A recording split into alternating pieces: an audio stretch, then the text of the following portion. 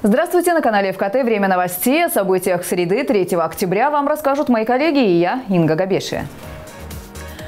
В Сочи снова портится погода. Представителям городских предприятий напомнили о правилах безопасности. На грани отключения жители сразу трех семиэтажек в Сочи могут остаться без света. В Сочи выводят новые породы рыбы. Форелеводческое хозяйство возобновляет опыт селекции с десятилетней историей. Поезд победителя уехал в Сочи. Владимир Саруханян стал чемпионом мира по версии Всемирной боксерской федерации.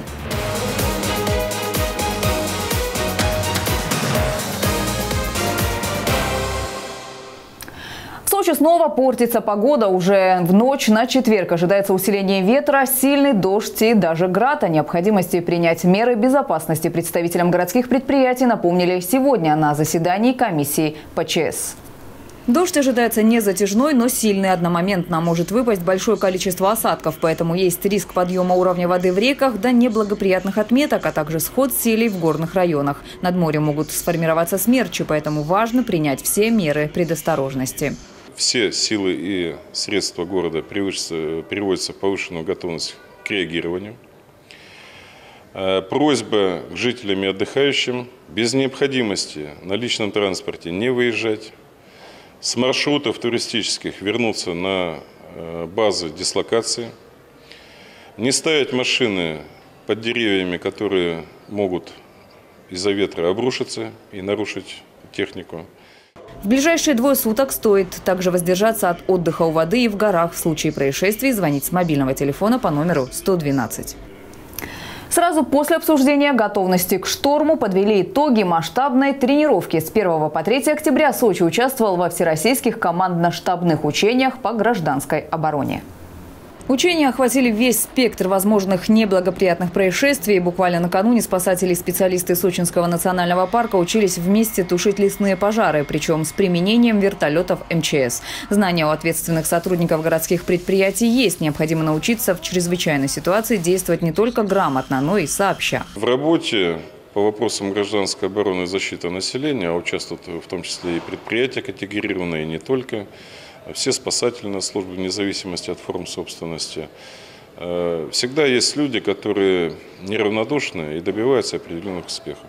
Понятно, что мы это видим, поддерживаем, подтягиваем остальных, кто не в полном объеме выполняет те или иные функции. Отличившихся во время всероссийских учений наградили благодарственными письмами главы города Сочи.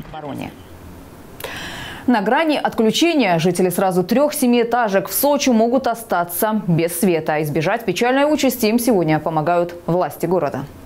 Прекратить подачу электроэнергии на трансформаторную подстанцию, от которой питаются дома номер 194 с дробями 3, 15 и 16 на Пластунской, ресурсоснабжающая организация должна по закону. Собственник ТП умер, родственники отказываются принимать в наследство оставшиеся за ним долги. И пострадать из-за этого могли бы жильцы трех семиэтажек на КСМ. В ситуацию вмешалась администрация, чиновники сами приехали к жителям и пригласили представителей ресурсоснабжающих организаций. В процессе встречи стало понятно, понятно, что ситуацию можно исправить.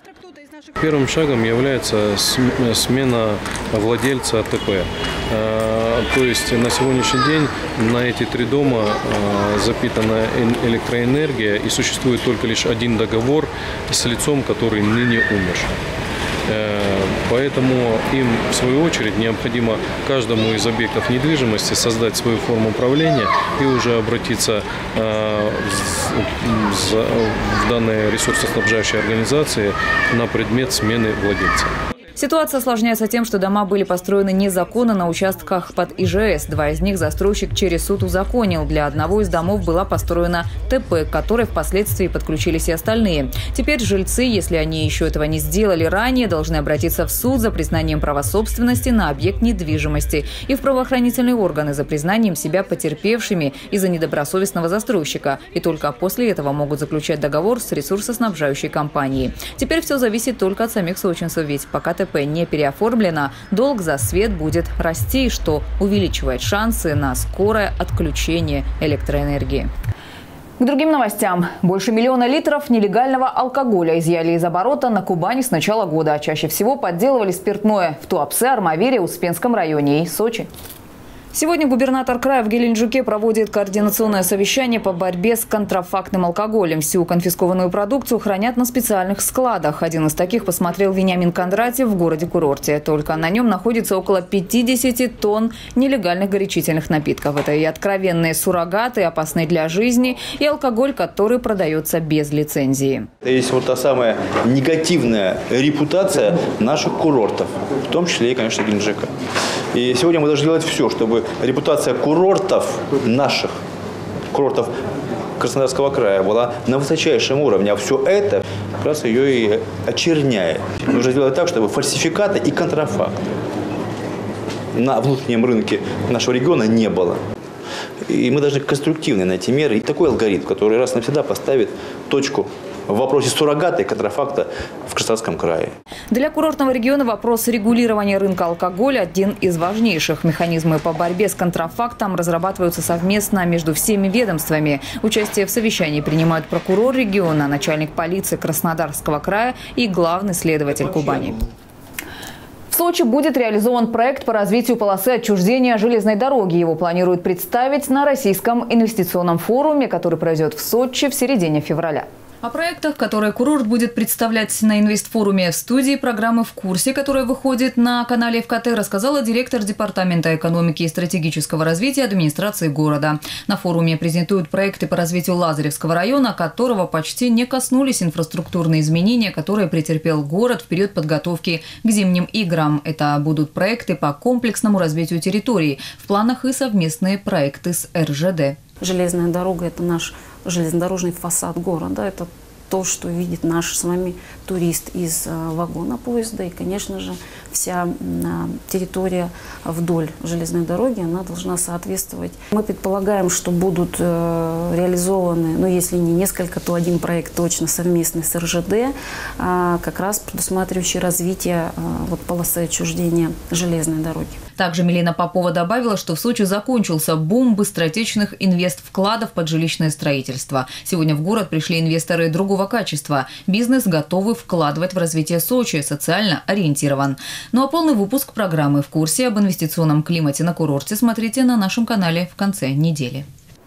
В Сочи выводят новые породы рыбы. Адлерское форелеводческое хозяйство возобновляет опыт селекции с десятилетней историей. Уже в следующем году появятся несколько тысяч особей, идущих на нерест весной и в августе. Сейчас, кстати, на заводе ведется активный процесс доения. В том, что рыб можно доить, убедилась Татьяна Говоркова. Около 300 бассейнов Адлерского форелеводческого хозяйства всегда заполнены рыбой. Иначе быть не может, ведь это племенное хозяйство. Основной вектор предприятия, как я сказал, это обеспечить импортозамещение рыбопосадочным материалом всех рыбоводческих хозяйств России. В хозяйстве выращивают пять видов форели. Радужная, янтарная, камлоопс, форель Дональдсона и стальноголовый лосось. Все они не рестятся на протяжении 9 месяцев в году, и только три рыба отдыхает. В год за время нереста здесь получают около 7 тонн икры. Форель, выращенная в искусственных условиях, не может самостоятельно отнереститься, поэтому специалисты проводят так называемую дойку. Сначала рыбу помещают в анестезирующий раствор, чтобы ее обездвижить и привести в так называемое сонное состояние. Сама процедура происходит при соблюдении строгих правил а, предосторожности. Для того, чтобы не навредить рыбе, не нанести ей ожогов, надеваются специальные перчатки, поскольку температура тела человека гораздо выше, чем у рыбы. С одной особи можно получить до 3000 икринок. Производственная мощность форелевого хозяйства порядка 40 миллионов живой икры на стадии глазка. Часть пойдет на реализацию, а другая отправится в питомник, где из икринок появляются мальки. На данный момент здесь находится личинка э, желточным мешком. Буквально на этих выходных мы разложили уже эту икру, и уже здесь маленький, скажем так, малек. Еще пока не сформировавшийся, пока желточным мешком, но это уже будущая рыбка. За сезон можно получить до 60 миллионов мальков форели. Когда они набирают в весе от 5 до 15 граммов, их отпускают в водоемы, чтобы через пару лет эти рыбы смогли дать потомство. Сейчас на заводе специалисты формируют новую породу рыбы – августин. Она сможет идти на нерест в августе при высоких температурах, что не характерно для обычной форели. Наши старые сотрудники, которые здесь работали, они проводили такие исследования, наработки, э, выбирали особи, э, которые не рестились при высоких температурах. То есть э, формировалась отдельная группа этих особей и велась. То есть наработки уже есть, э, то есть э, все уже сделано, осталось только дело за малым, то есть пригласить науку и продолжить исследования. Сейчас селекционеры планируют запатентовать Августина. Параллельно ведется работа и над формированием еще одной группы форели – весенней. Этих рыб планируется выпустить во взрослую жизнь в следующем году. Татьяна Говоркова, Дмитрий Говорков, телекомпания «ФКТ». К новостям вернемся после прогноза погоды и короткой рекламы. Не переключайтесь.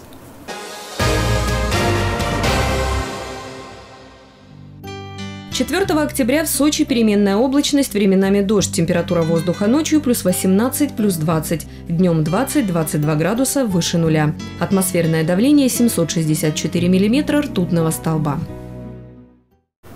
Лидер «Леди лицеист». Пилотный проект специального девичьего класса в гимназии номер 15 набирает свои обороты. На этот раз темой уроков в пятом Л-классе стали азы успешного ведения бизнеса. Как быть женственной и успешной девочкам рассказали состоявшиеся представители профессионального сообщества.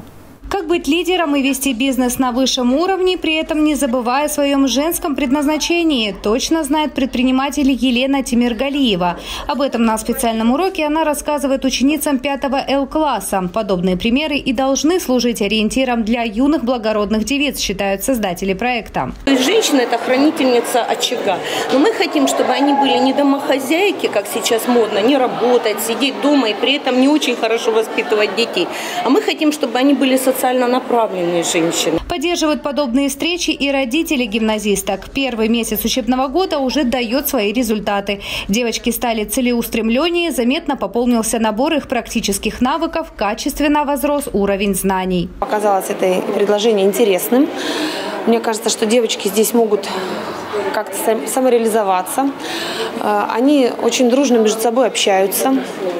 Э, они к ним приходят специалисты, э, которые э, интересны непосредственно девочкам. Что касается опасений по поводу отсутствия мальчишек в классе, то на этот счет в женском коллективе переживаний нет.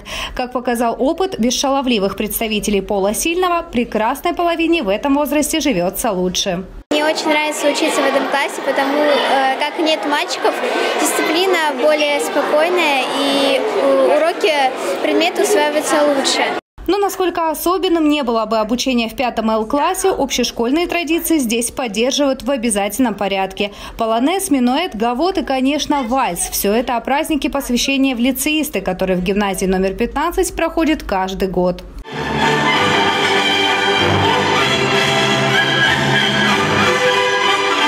Отныне лидеры и леди 5 Л-класса стали теперь еще и полноправными лицеистами. Уже на следующий год подобные профильно-девичьи классы могут появиться не только в 15-й гимназии. Настолько проект понравился многим сочинцам. Татьяна Говоркова, телекомпания «ФКТ». Дети-киборги приехали в Сочи. Эту поездку они выиграли в конкурсе видеороликов от инновационного центра «Сколково моторика», где им установили современные протезы. Каждый новый день — это новая строка Романа без начала, начала и конца. Восьмилетняя Настя Краснова с рождения управлялась только одной рукой. Этим летом сбылась давняя мечта. Вот этот ролик ее родители сняли по просьбе протезного предприятия. Специалисты объявили конкурс, им важно было увидеть, как дети наловчились пользоваться современными протезами, увидеть их суперумения, успехи. Мы решили попробовать, как бы, может быть, в чем-то ей будет удобнее. Ну, действительно удобнее одеться даже, она там может себе подержать кофточку, молнию застегнуть, подержать, то есть шапку одеть двумя руками теперь, в портфель сложить предметы школьные, мел может держать, писать на доске. Конечно, жизнь ребенка стала комфортнее, как, собственно, и жизнь Вики Дюбаковой из Омска. У нее два ручных протеза. Помогали купить всей страной, так что теперь девочка и в шашки играет, и даже шахматы осваивает. Помогает Вике и Насте Славе Коболь из Казахстана, тоже не так давно с новым ручным помощником. Мамы радуются. Это новый уровень технологий, причем отечественный. Искусственный механизм приводится в действие оставшимися ручными суставами. За границей такие протезы стоят безумных денег. Они ведь даже помогли ей не просто жить, а адаптироваться в этом мире. Другой один посмотрел, другой посмотрел, да. А что ручек нет, а что пальчиков нет, а теперь все есть. Портфель есть чем взять. У них игрушки на вот этих протезиках, у них часы. Вот так обычных детей в Сколково превращают в супергероев. Их благодарность и за руки, и за поездку в Сочи в одном искреннем слове. Спасибо! Елена Овсецина, Алексей Давыдов, телекомпания «ФКТ». Сочинская турбаза стала центром профилактики вредных зависимостей. В Адлерском районе собрались все, кому интересна здоровая и активная жизнь. На одной площадке собрались студенты большинства учебных заведений Сочи, начиная от средних профессиональных до высших. Программа включала в себя научно-познавательные беседы и спортивные мероприятия. К примеру, сотрудники Кавказского заповедника объяснили правила поведения на заповедной территории. Закончилась встреча экологической игрой, в ходе которой студенты узнали много интересных фактов об окружающей их природе. Ребята смогли проявить свои интеллектуальные способности во время игры «Что, где, когда». В качестве приза победители получили сертификат на игру «Мозговой штурм». Один день форума был полностью посвящен профилактике асоциальных явлений в молодежной среде. В спортивной эстафете каждый смог проверить свою физподготовку. А личностный тренинг провела тренер всероссийского проекта «Ступени» Дарья Комнатная.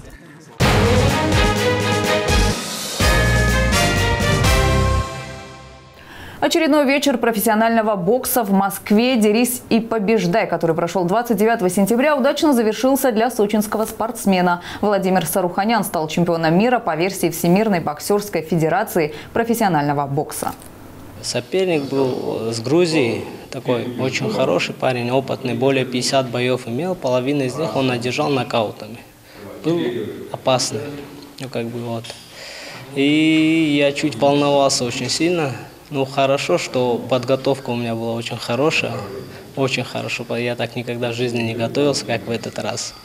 Вот, очень хорошо подготовился. И в ринге я почувствовал сразу, что он сгорел, волновался очень сильно соперник, что знал со мной. Боксирует. Я почувствовал и сразу его начал бить печень. И он этот, как сказать, сразу пропустил удар. Я его начал добивать. И все закончилось очень быстро в первом раунде. Боксом Владимир Саруханян занимается с 13 лет. Пришел в этот вид спорта из футбола. Вслед за ним сменил поле на ринг и его брат Ваги. В 2016-м он стал чемпионом Евразии и защитил титул в прошлом году в бою с соперником из Филиппин, у которого на счету не было ни одного поражения. Также Ваги взял чемпионский пояс в легком весе. В 2017 году была мне честь а, побоксировать за интернациональный пояс WBC. Вот, а, э, проходил бой в Сочи, 4 августа было а, в цирке. Соперник был из Бельгии, Хеди Селимани, который был очень крутой. У меня была своя тактика. За 4 раунда я его немножко пообманывал, выдергивал, и в пятом раунде я его нокаутировал в печень. Добиться результатов, уверены спортсмены, им удалось благодаря поддержке опытных тренеров спортшколы номер один. На том бое, где мы участвовали, были представители, менеджеры, это был Титов, это представители были мира бокса. Я думаю, что сейчас пройдет анализ определенный. Ждем предложений, э, заинтересовались в Англии, Поэтому сейчас немножко нужно подождать время, но вместе с тем продолжать занятия и готовиться к будущим победам. Теперь Владимира Саруханяна ждут интересные предложения в Лондоне. Возможно, уже в конце этого года сочинец представит наш город в турнирах с другими звездами профессионального бокса.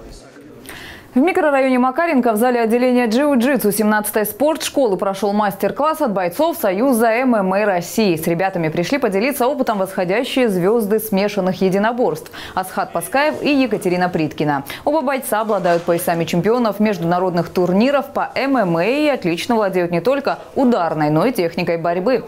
Болевые и удушающие приемы и захваты для безоговорочной победы. Такой была тема семинара. Потом тренер Станислав Калмыков провел с ребятами занятия и дал желающим продолжить тренировки, индивидуальные рекомендации. Ну и все новости уже на нашем сайте fkt.com. Смотрите нас также в социальных сетях Facebook, Instagram, Одноклассники, Telegram и в группе ФКТ ВКонтакте. В студии была Инга Габеша. Спасибо за внимание и всего вам самого доброго. Благодарим за создание имиджа ведущей студию красоты Мика Бьюти и лично ее основателя Милану Гаспарову. Студия красоты Мика Бьюти – макияж, прически, броу-бар, курсы для бровистов и обучение визажу. Одежда ведущей предоставлена мультибрендовым магазином российских производителей «Сезоны». Это новые тенденции, качественные материалы и безусловный комфорт. Найдите свой стиль по адресу улица Парковая, 17.